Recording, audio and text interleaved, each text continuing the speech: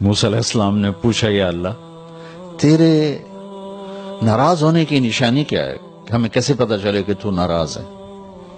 تو اللہ تعالیٰ نے فرمایا، جب تو دیکھے کہ بارش بغیر موسم کے ہو رہی ہے اور حکومت بے وقوفوں کے پاس ہے اور پیسہ بخیلوں کے پاس ہے، تو تم سمجھنا کہ میں ناراض ہو چکا جب بارش بے موسم ہو بے وقت ہو۔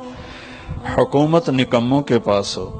پیسہ بخیلوں کے پاس ہو تو سمجھو میں ناراض ہوں۔ کہ اچھا پھر تیرے راضی ہونے کی کیا نشانی؟